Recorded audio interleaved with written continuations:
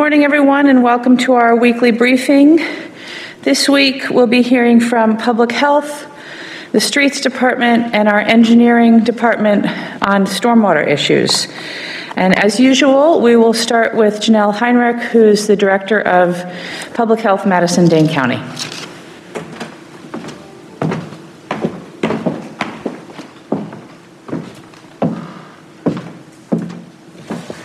Good morning.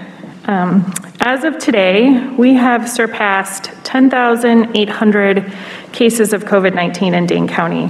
This is a 65% increase from one month ago today. Thursdays, we release our weekly snapshot, providing an overview of the last two weeks of data. And I have a few details I can share right now. Our 14 day average with without UW included is now about 94 cases per day. And with the university, it's 112 cases per day. What this means is, as we've said in the past, unfortunately, we're seeing widespread illness in our community. And that the line between uh, UW affiliated and non UW affiliated individuals in cases of COVID is, is getting harder to draw. We know that there are many other non UW college students testing positive in Dane County, and some are from other colleges um, who are individuals who are returning to Dane from campuses around the state and the country. The overall proportion of cases that are in the 18 to 22 year old age group has dropped to 22% in the last two weeks. This is down 45% from last week. And for cases, individuals diagnosed with with COVID outside of the 18 to 22 year old age group, there's been a significant increase of 18% in the last two weeks. Right now, there are 60 individuals hospitalized with COVID in Dane County, and we're seeing hospitalizations increase in every age group over 19 years of age. And this is what we need to be paying attention to and continue to be mindful of uh, all the things that we can do to keep us well. With the increases in cases statewide and those in our community, uh, we are seeing record level demands for testing at the Alliant Energy Center this week. Uh, Wednesday, uh, record levels on Tuesday, Wednesday was very high, and we're tracking this data very closely. We know that the wait times were high on Tuesday, and we've reconciled that. Uh, they're lower now, um, almost uh, equal to what you experienced uh, before this week and the change in hours. Yesterday, the National Guard averaged 439 tests per hour, which is equivalent to a test every eight seconds. We're grateful for the experience, the training that they're providing us, and our ability to take this information and processes to be able to continue to do this as we transition into that um, staffing model. About 25% of the people who tested uh, on Tuesday at the Alliant Energy Center were from out of Dane County. And up until this week, uh, that's only been about 20%. So we're seeing this as, as, likely an increasing trend, and we're happy to be able to provide support. We want people to get tested. But we want to remind you that um, if you need to get tested and you have a healthcare provider, please uh, contact your provider um, to see if you can get in with them before you come to the Alliant Energy Center. And while anyone can get tested, we recommend testing um, for individuals who have had close contact, which means within six feet for about 15 minutes cumulatively over the course of time, with someone who has tested positive for COVID 19, people with COVID 19 symptoms, people who have regular exposure to a large number of individuals, for example, people who work um, in the grocery store and other service industries people who work closely with high risk populations. We do not recommend testing for people who plan to attend a, a, gathering and want to make sure that you're okay. Testing only tells you if you had COVID on the day that you were tested. A negative test does not necessarily mean that it is safe to gather with others. And we really encourage you not to just get tested reg- frequently for your peace of mind. Tests are expensive. We want to make sure that they are focused on those who might need it most. Uh, we are also offering a flu shot clinic at the Alliant Energy Center. This is available for Dane County adults and children six months and older who did not have health insurance or a medical home, and children six months and older who have Badger Care or Medicaid. Interpreter services are available at the Alliant Energy Center.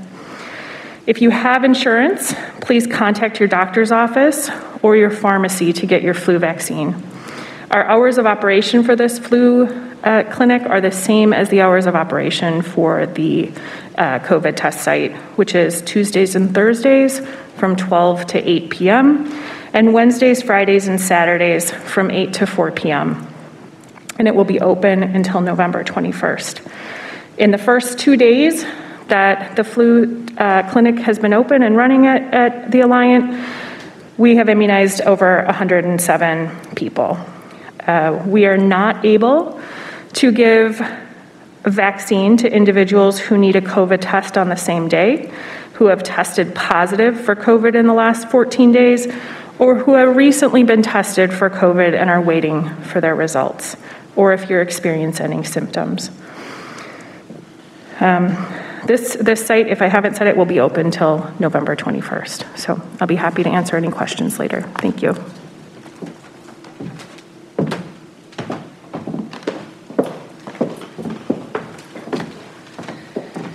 Thank you, Janel. Next, we're going to be hearing from Charlie Romines, who's our superintendent of the streets.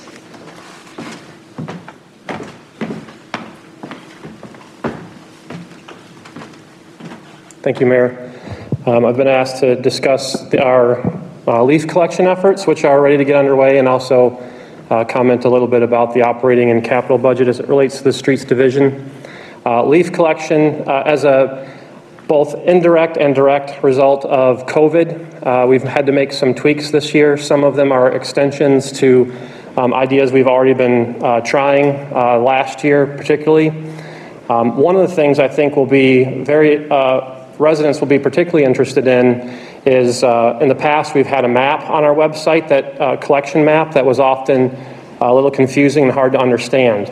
Um, uh, thank you to City IT, who's worked with us in a relatively short period of time to do away with the map. Instead, if you go to where that map used to live, which was madison.com forward slash streets forward slash yard waste forward slash leaves, instead you'll find a place where you can plug in your address. When you plug in your address, it will give you three dates. Those are dates to, as well as all the, all the rules. Those dates are set out dates. Those dates will all be Sundays. Uh, what that means is that following Monday through Saturday, we will be by to collect your leaves. Uh, the hope is that will give our residents a pretty certain time frame to get their leaves out um, and allows us to uh, bring back certain efficiency that we will uh, lose through some of the COVID collection methods. Um, additionally, what you will see, depending on which parks you enjoy, uh, one of the ways that we're changing this year Instead of using our trucks to haul each load of leaves all the way out to the far east side where we have a facility that composts them, we're going to be short hauling those to several parks throughout the city and then using larger semi trailers to haul those out. What that will allow us to do is to collect the leaves from the curbside and get them away from the gutter much, much faster.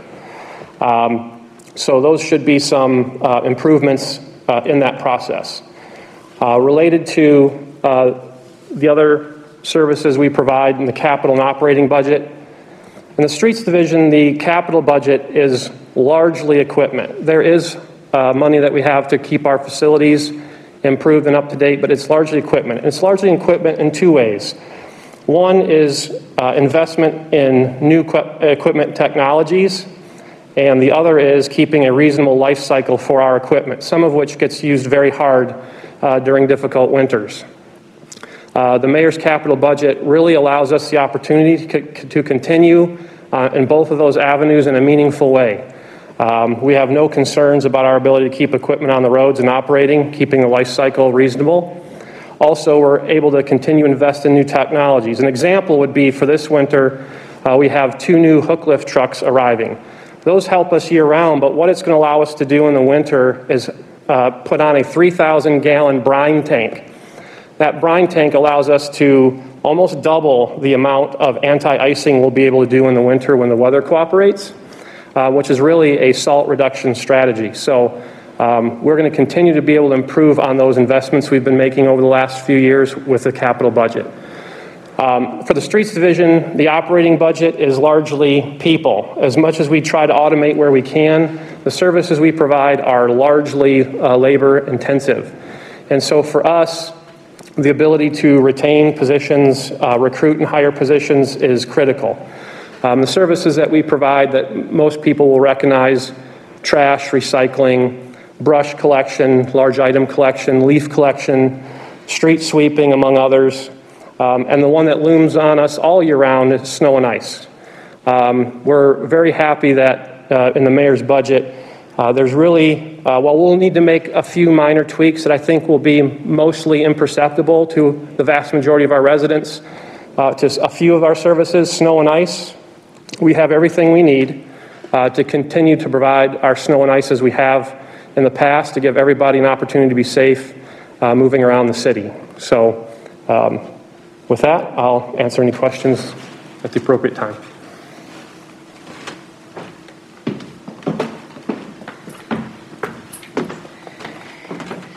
Thank you, Charlie. And um, because we're just about to hear about stormwater, I just want to remind folks that um, please do look up um, on the website, cityofmadison.com. There's a lot of slashes there, but look for the streets department and find that leaf pickup information uh, because we do really want to make sure that we keep those leaves out of the street out of the storm sewers and out of our lakes.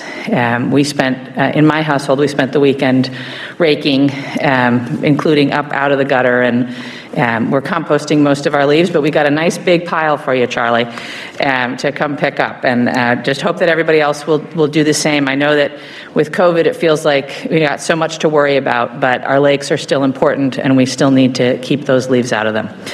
Um, and so now we'll hear from Janet Schmidt uh, from our engineering Department um, with an update on stormwater.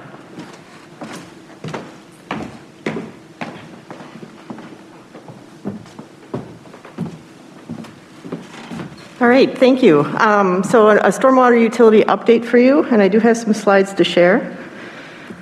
Um, So as many, many people know, we're we're doing a very comprehensive watershed study uh, in Madison. Our goal is to study all the watersheds that contribute to the lakes and the river. Um, Right now, we have 10 studies that are in in various uh, stages of completion. Most of these are on the west side, but we are starting to move on the, to the isthmus, and in next year, we're going to start with the Starkweather uh, watershed study in 2021.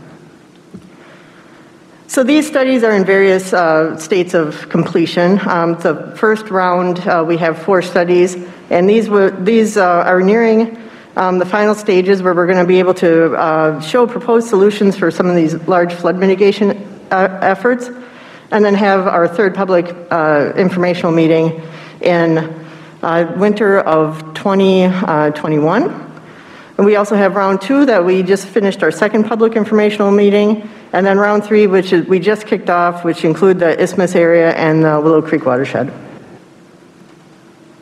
So some of our highlights for projects that we completed, um, some of these projects uh, usually do take uh, at least a year or so to get through the design process and then actually go to construction. So a couple highlights, we, we recently finished the McKenna Boulevard Flood Mitigation Project, which was a, a large uh, project over by Elver Park, which uh, included uh, re reconstructing a concrete channel and putting in a flood wall to better protect the properties along the, the Green Tree landfill. Uh, we also recently completed the Hawks Landing South Flood Mitigation Project, and then uh, the Nautilus Pond Project, which is a stormwater quality project that's located over by Mineral Point Road. So some proposed budget uh, projects for next year. Uh, we are going to continue our work over at Hawks Landing with our North Flood Mitigation Project. Uh, that's going to be done in, in, coordination with our Lower Badger Mill Creek Pond Project. Sauk Creek Greenway, which is over off of um, High Point Road and Old Sauk Road. We have a large greenway project that we're proposing. The Old Sauk Trails Business Park, uh, Greenway and Pond, um, they sustained a lot of damage in our floods in 2018 so that has risen up to our priority list. The Hickory Hollow Greenway project, which is off of University Ave over by Capitol Avenue, and then we're working with uh, St. Mary's, um, SSM, and Truman Olson sites for redevelopment and flood mitigation in that area. For stormwater quality, we have a lot of things going on as well. We have our salt initiatives, um, we have our salt certification program, and there's still time to sign up for that. And this is a, a program that allows you to get trained for applying salt on uh, sidewalks and, and parking lots as well as roadway applications. Um, The training is free, so, and it's- done virtually, so people who are interested could look on our City of Madison Engineering website for more information. We're also completing a green infrastructure pilot project that is over in the Westmoreland neighborhood, which is over by Glenway Golf Course.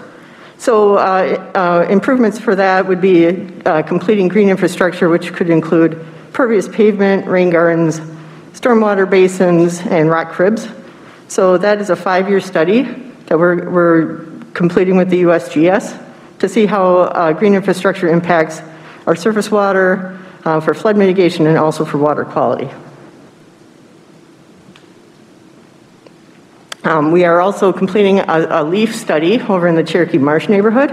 This is a a two-year study on how leaf collection methods impact surface water and phosphorus load, which impact the water quality of our lakes. So this is a, uh, excuse me, a two-year study with the USGS and in conjunction with the League League of Municipalities. And uh, we're going to evaluate that area for, for leaf collection methods and how best to uh, propose leaf collection in the future. And with that, I'd be happy to answer any questions. Thank you.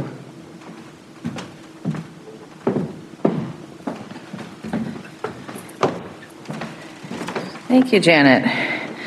All right, so I have a number of updates uh, as well. I just want to start by reminding folks uh, about the availability of the um, COVID 19 testing at the Alliant Energy Center um, and at other community sites, um, and certainly through your healthcare provider. Um, and to remind folks that testing is not a substitute for best practices.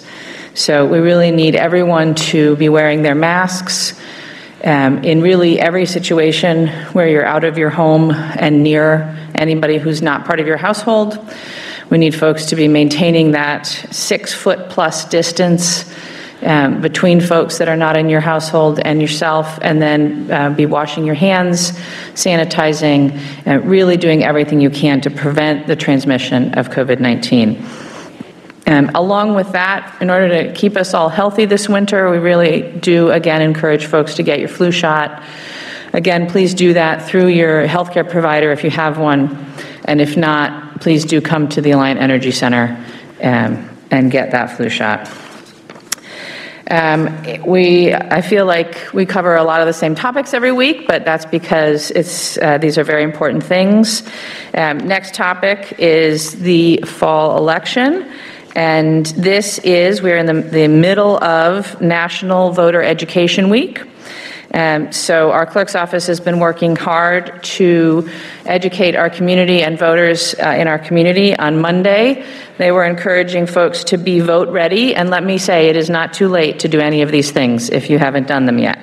So to be vote ready, you want to verify your voter registration at myvote.wi.gov. Particularly if you have moved since the last election, it's important to make sure that your voter registration is up to date.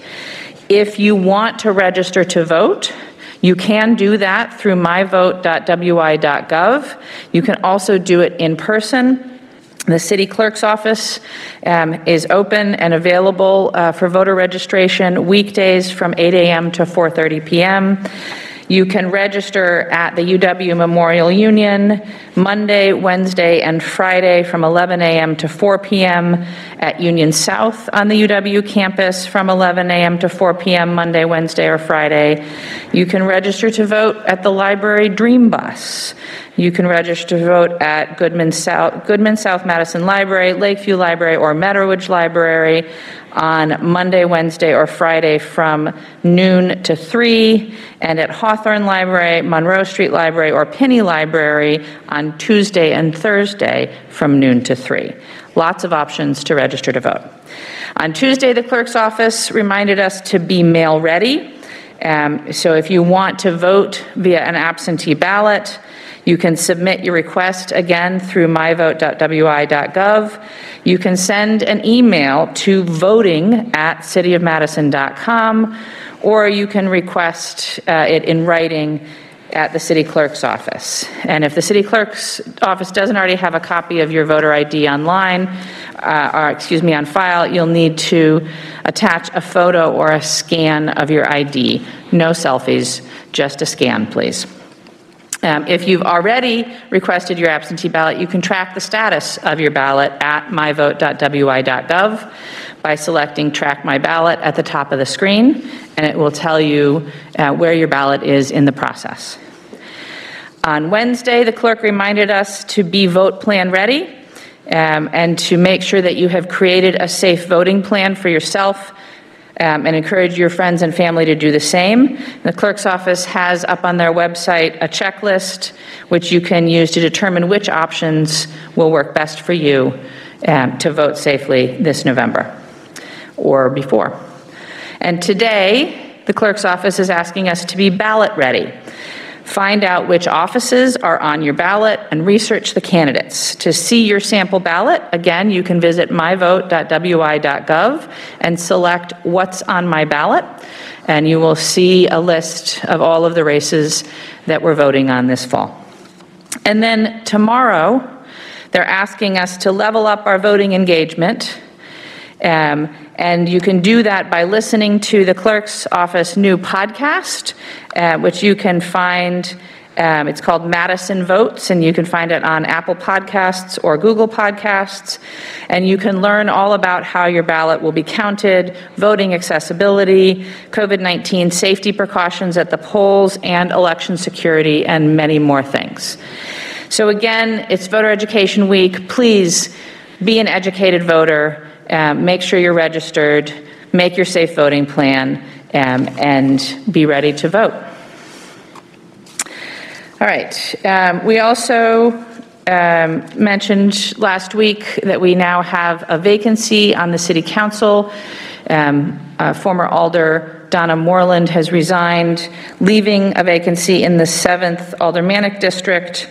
And the City uh, Council is now taking applications to fill that vacancy. So any applications uh, should be emailed to ccec at cityofmadison.com. They must be received by 4:30 p.m. on Wednesday, October 21st. The application needs to include name, address, phone number, email, a biographical resume with education, work, neighborhood, and civic experience, a statement on why the applicant wishes to serve, a statement on what the applicant wants to accomplish, and whether the applicant plans to run for the seat in spring 2021 or not. Uh, the timeline is as follows. Um, on Wednesday, October 21st at 4:30 p.m., applications are due. On Friday, the 30th at 4:30 p.m., there will be a special CCEC meeting, that's the Common Council Executive Committee meeting for applicant interviews and the recommendation of a selected candidate to the council. And then on Tuesday, November 17th at 6:30 p.m. at that council meeting, um, the council will decide on the appointment of a District 7 alder. So if you live in District 7, um, certainly think about uh, serving to fill this vacancy and get your applications in. Next, a little update on Metro Transit. On Wednesday, October 14th, uh, Metro Transit will be, uh, and the, the City of Madison Transportation Commission are, hol- are holding a public hearing. It's at 6 p.m., and they will review and discuss service updates that were put into place on August 23rd. Um, so passengers are included, are encouraged to provide feedback on how the August service increases have been working and whether there are any essential trip destinations that are being missed. Um, the hearing will also cover our network redesign plan. Um, we are in the middle, or excuse me, at the beginning of a redesign plan that will take place in 2021. Um, As part of the plan, we've hired a consultant to complete a comprehensive review of all Metro Transit service. And this will be used to reconfigure Metro service uh, to accommodate the planned bus rapid transit network, um, as well as to make the entire system faster and easier to use. So we're encouraging folks to attend this virtual public hearing and provide feedback. Um, There's a number of ways you can do that. Obviously, you can attend the hearing. You can also fill out the feedback form at mymetrobus.com.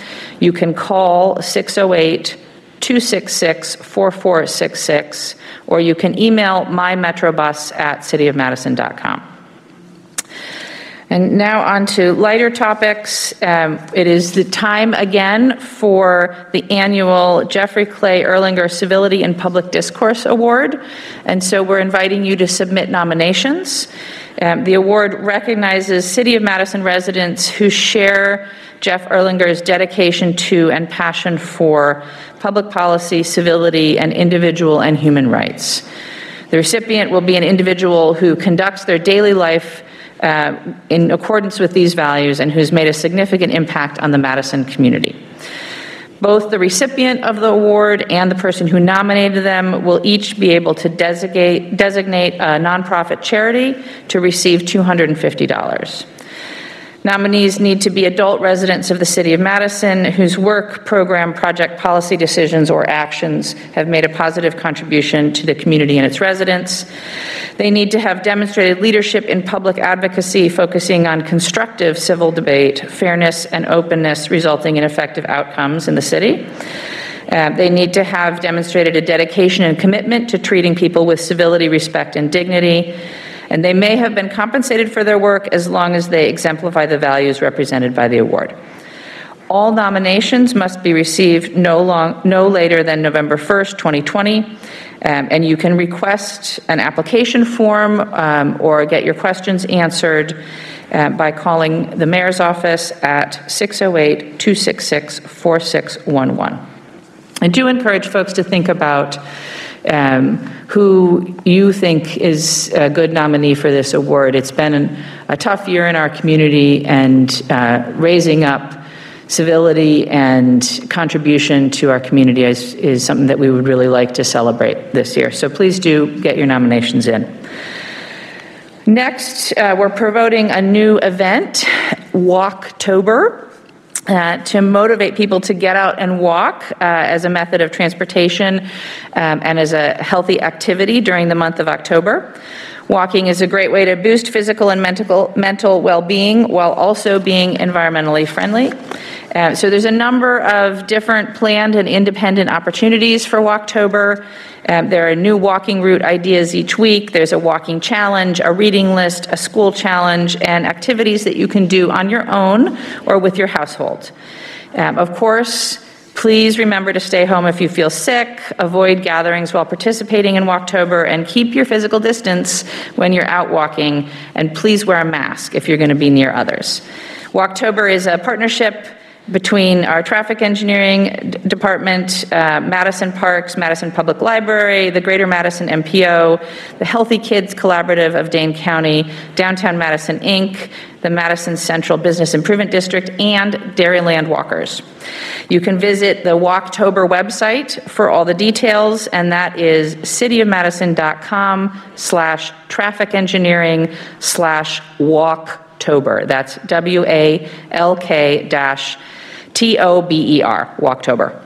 So it's your chance to get out and experience Madison by foot uh, or by wheel and get to know both your neighborhood and your city. Uh, Finally, just want to remind folks, as I do every week, of the community resources that are available to help families in need. Um, Our housing helpline will help connect folks to housing. If you are homeless or in danger of losing your housing, please call 608-264-0549 or email housinginfo@cityofmadison.com. If you need help with your internet connection or phone service, call the Public Service Commission at the state. That number is 608-267-3595. If you need help finding a childcare provider, uh, you can call um, Community Coordinated Childcare at 608-216-7022. Um, And for any of these uh, needs, or if you need access to food resources or any other um, human or social service, please call the United Way at 211 um, or text your zip code to 898-211. Um, These resources and more are posted at cityofmadison.com. On the homepage, please click on the Community Resources link. And finally, upcoming meetings. Um, Today, we have a 4:30 PM meeting of the Community Development Authority, a 5:30 PM meeting of the Community Development Block Grant Committee. At 6, the Body Worn Camera Feasibility Review Committee meets, and at 7, the Common Council has a special committee of the whole. On Monday, the 12th, at 4:30, there's a Finance Committee meeting, and at 5:30, a Police and Fire Commission meeting. On Tuesday, the 13th, at 4:30, there's a Finance Committee meeting. And Those two Finance Committee meetings will be briefing the Finance Committee on the executive operating budget, if you want to tune in. Um, And then on Wednesday, October 14th, at 5, the Transportation Commission will meet. All of these meetings are virtual. You can sign up to testify at any of them uh, on the city's website. You can also see the complete list of city meetings on the website, um, and you can access many of these meetings on the award-winning Madison City Channel. All right, that's my briefing for the week. I think we have a few questions and uh, a little bit of time to take them. All right, we have a question for Janel and one for you, Mayor. All right, we'll start with Janel.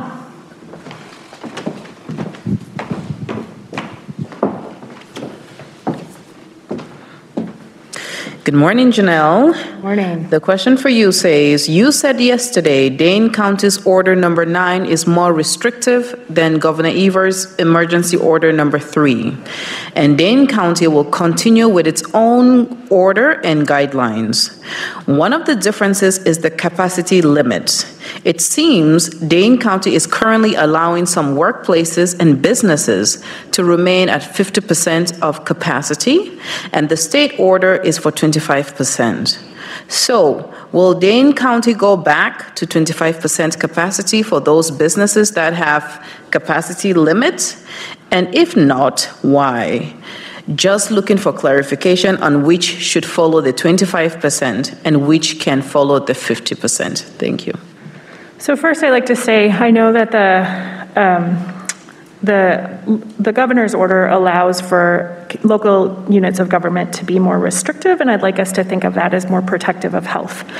Um, What it does is sets a floor um, for communities to use and to build some consistency across the state. We feel that what we have in our emergency order uh, requires, not we feel, we know that what's in our order requires all businesses to implement written hygiene, cleaning, and protective measures, policies, and procedures, and offer, and requires training of employees.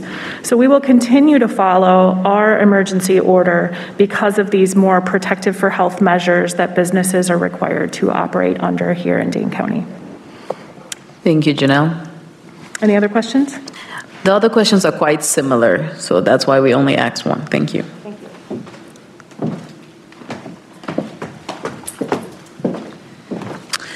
And we have one question for you, Mayor.